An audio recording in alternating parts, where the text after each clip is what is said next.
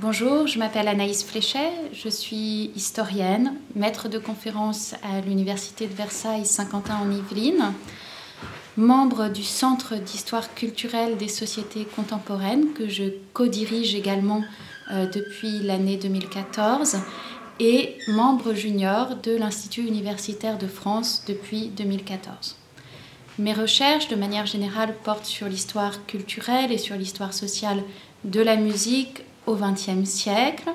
Et à partir de, ce domaine, j'ai privilégié deux thématiques jusqu'à présent. Euh, tout d'abord, les liens entre musique et politique, euh, que j'ai étudié notamment euh, en Amérique latine et plus précisément au Brésil. Je me suis beaucoup intéressée au Brésil dans ma thèse.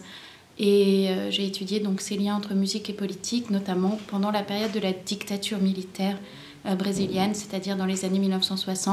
1960-1970, en m'interrogeant euh, sur euh, la manière dont la musique a pu, servir de résistance, de lieu de résistance culturelle face à l'autoritarisme, mais aussi sur les propagandes musicales qui ont été mises en place euh, par le régime militaire à l'échelle nationale et à l'échelle internationale. Ce qui m'amène à ma deuxième thématique de recherche, celle que je développe aujourd'hui dans le cadre de mon projet IUF, qui traite des rapports entre musique et mondialisation culturelle euh, au XXe siècle à partir euh, d'un objet très précis que sont les festivals de musique. Puisque mes recherches actuelles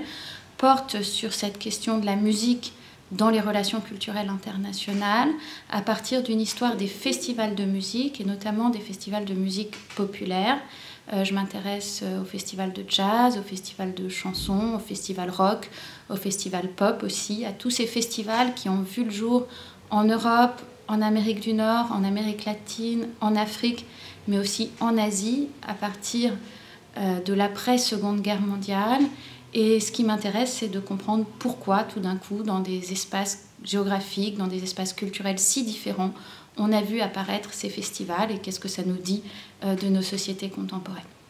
Alors pour ces recherches, j'ai privilégié trois types d'approches. Euh, une approche qu'on pourrait appeler formelle, où j'interroge ben, ce qu'est un festival de musique et comment se sont constituées euh, ces manifestations culturelles, hein, quel est le dispositif festivalier, est-ce qu'il y a une culture festivalière qui se met en place et comment?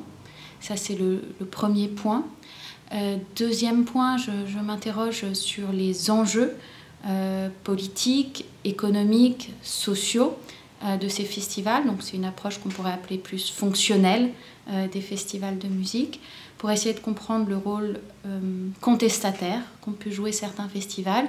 mais aussi la manière dont des grands festivals internationaux ont pu être utilisés à des fins stratégiques par les États et donc jouer un rôle dans les relations internationales. Enfin, euh, je m'interroge euh, sur euh, les circulations musicales et sur la manière dont les festivals ont pu favoriser ces phénomènes de circulation, ont pu permettre la circulation des artistes, la circulation des genres musicaux, ont pu permettre aussi des formes de métissage sonore inédits et ont joué un rôle à la fois euh, peut-être dans la diffusion euh, des musiques anglo-saxonnes dans le monde dans la seconde moitié du XXe siècle, mais aussi euh, dans l'émergence et dans le succès plus récent des musiques du monde, c'est-à-dire des musiques produites dans les pays des Sud et destinées, ou du moins consommées par les publics européens ou les publics nord-américains. Donc je m'interroge sur tous ces sujets avec, c'est peut-être la spécificité de mon approche, euh, une dimension historienne. Ce qui m'intéresse, c'est de savoir comment ces phénomènes s'inscrivent dans le temps, et une dimension transnationale, puisque euh, je mène des études en Amérique latine, en Europe. J'ai été aux États-Unis aussi, et maintenant, grâce à l'Institut universitaire de France, euh, je pense et j'espère pouvoir aller consulter des archives au Sénégal, dans plusieurs pays africains, peut-être en Asie également, pour compléter cette approche qui se veut véritablement transnationale des festivals de musique, pour mieux comprendre euh, le rôle de la musique dans le processus de mondialisation contemporaine.